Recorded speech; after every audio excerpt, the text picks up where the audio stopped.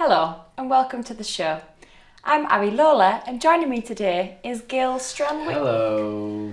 Yes, so what brings You you, smell nice. as I was saying, what brings you with us here today? The bus. Christ. It's only a joke. I'm not allowed on the buses anymore. Any more? Not since the incident. Moving on. Moving swiftly on. So all of our guests seem to have something unique. I'm your biggest fan.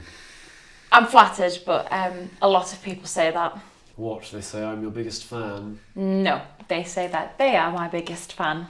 Well, they're lying bastards then, aren't Language. Excuse me about that language. they? is perfectly serviceable. As are you. What? Did you get my gift? Gift? I sent you the money bags with all my toenail clippings.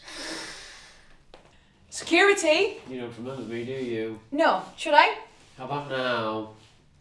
What? No. Oh, oh my shit! It's it's you, isn't it? It's you. It is. You're not allowed within 500 meters of me. That was the old me. The new one ain't much cup either. You don't understand. I'm different now. I've got a new name. Restraining orders don't count.